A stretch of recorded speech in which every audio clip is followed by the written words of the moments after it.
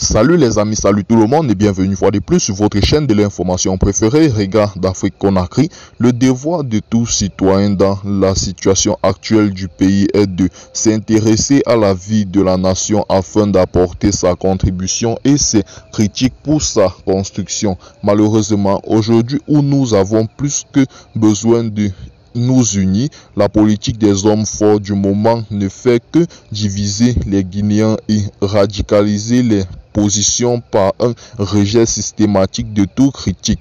Et le plus cruel dans cette tragédie est que celui qui critique est perçu d'office comme un ennemi la justice est utilisée pour des règlements de comptes personnels ou mettre à la touche des leaders politiques représentatifs d'au moins 99% des populations guinéennes. Ils ont tous oublié que la liberté de mouvement et d'expression est garantie par une charte, mais il y a des liens vêtus de peau d'agneau qui se sont infiltrés dans le groupe des agneaux pour pouvoir les dévorer. Et oui, l'homme censé être la solution est devenu le calvaire. Notre liberté d'expression, nous l'avons acquise sous Lansana Conté et cette liberté d'expression, certains en ont pleinement profité sans jamais être inquiétés. Aujourd'hui, cette même liberté d'expression est prise en otage, ce qui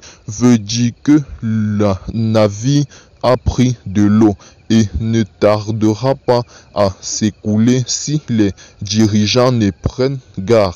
Le lion est blessé et nous savons tous de quoi le lion est capable quand il est blessé. Eh bien les amis, c'est ici que prend fin notre petit bulletin d'information. Si vous êtes nouveau à la chaîne, n'hésitez pas de vous abonner pour ne plus manquer nos prochaines vidéos. Merci de partager la vidéo avec vos connaissances, amis, proches si vous la trouvez notamment intéressante. À très bientôt pour une nouvelle vidéo.